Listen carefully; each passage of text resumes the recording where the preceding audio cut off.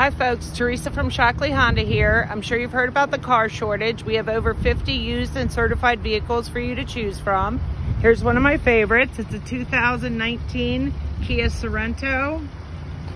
Black on the outside, black cloth seats on the inside. Very clean. It gets an average of 25 miles to the gallon. It is front wheel drive. Nice display screen.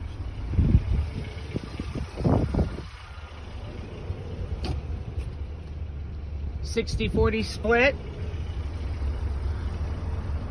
It is front wheel drive. Has a huge back area for storage, groceries, traveling. It has 49,289 miles. If you're interested, please give me a call at 301-694-5400, extension 1164. I'd be happy to help. Thanks and have a great day.